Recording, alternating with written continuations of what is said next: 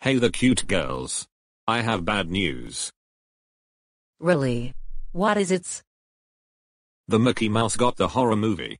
Like Winnie the Pooh, Blood and Honey. So, look this horror movie.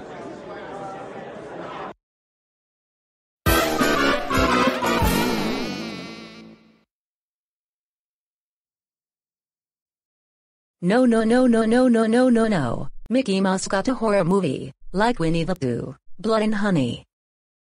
This is disaster.